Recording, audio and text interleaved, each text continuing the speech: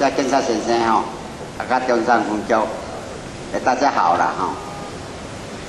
我这边呢，只是要甲这个接运啦吼，因为伊八月十一号，互阮一张公司啊，阮是甲讲，提起十五栋以外的被动啊，吼，诶，这个保存看当确保，同时阮属实的这十五栋无够，因为之前呢，五三控案，到要到四十九栋来讲，其他的厝因都嘛是太大咧，所以我希望讲有同病人啊，医疗的需要，吼，看当啊加几栋啊，的厝互阮大。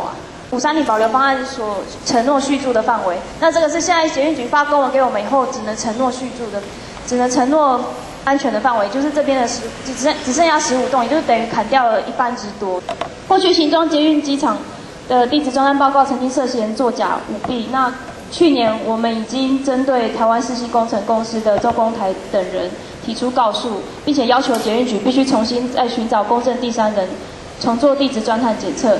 今年五月，捷运局才终于委托台北市大地技师工会的人来热身院做地质专探的检测。但是我们发现，台北市大地技师工会与台湾世纪工程的周公台本人关系密切，因为周公台是该会的创始者及第二届理事，又是现任鉴定鉴定委员、鉴定小组的委员，所以我们强烈质疑，这根本就是球员兼裁判的行为。地质专探的数据有造假的嫌疑，已经被提出这个告诉。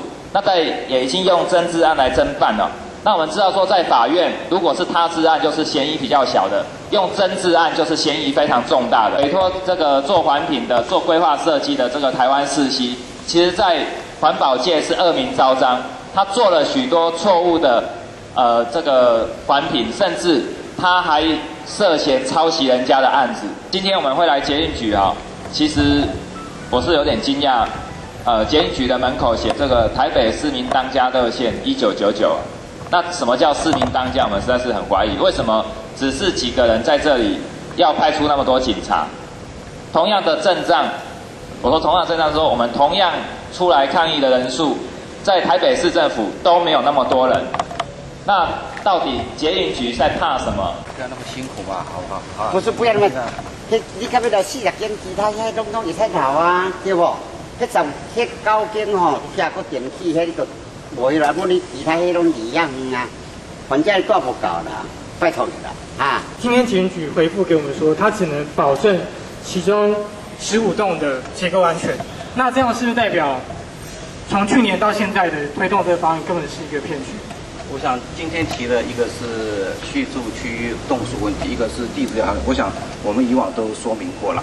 那今天大家也提供这个意见哈，那我们也会回去呃研读大家的这个意见，给自救会这边哈那个一个呃一个书面的说明，好不好？检举现在是不是不能保证乐生院保存四十栋建物？所有建物的安全，政府定的方案现在是不是只剩十五栋能保证安全的？我们还是按照去年五月三十工程会的方案继续进行。那大家有一些些疑问呢，我们其实以往也都说明过。那我想今天大家又再提出这两个问题哦，我们还是会呃用书面啊。书面的声明是过去检验局已经回复给我们了，就是我们曾经发文给检验局要求说，既然政府划定四十栋的建物要做古迹保存。那应该就可以保证这些建物的安全，所以这个月民居住的范围应该也可以扩大。但是检举回复这张文给我们说，四十栋里面除了十五栋目前续住规划的续住范围之外，所有的建物他们都不能保证结构的安全。所以我们在这里今天要质疑的是，当初工程会跟检验局所有政府单位合意做成的这个方案，说要保存四十栋热身的建物，号称。捷运影响最少，热身保存最多。可是到今天呢？今天只跟我们说四十栋，只剩下十五栋。那我们怎么知道你会不会在施作的时候，到底多少栋会安全？目前捷运局设计完的方案是保存四十栋，这个是并没有变动啊。那所以不是说保存十五栋，保存四十栋。所以我们还是依照工程的方案继续进行。那大家这样说法引起一些误解，我想我们还是用一个书面的。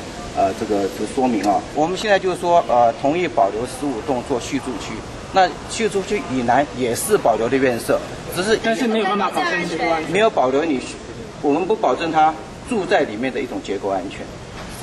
住在里面是人住人的啊，那是家房要怎么安全？假的保留嘛。因为完全可以请刚刚说说明到底是怎么样的不安全？他不能说不安全。能不能你你紧靠着边坡，你不能说不安全，不然到底安不安全？那所以可以住人。我想留的安全可以保证吗？保保留安全可以，续住安全不保建留。物到底能不能保。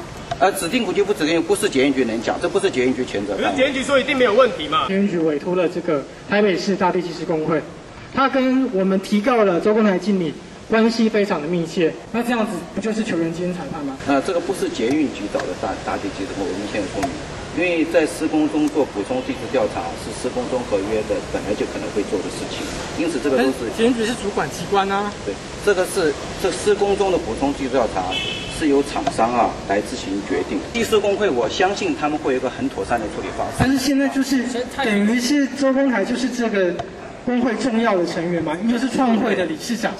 那我想检验局还同意他来做这个地质实验，那这样还称得上是公正的吗？我们不是同意周公台来先生来做这个地方，我们是同意我们的厂商委托台北市大地技工会来办。但是关系的问题就要回避的、啊。没有，你刚才讲的是说厂商自己找，好找找他认识的也没关系，但中公台明显他就没有去回避那个利益的问题。我想你们所以这检验局这这个这个讲法引起误会，不是找某一个人，是找工会这个团体。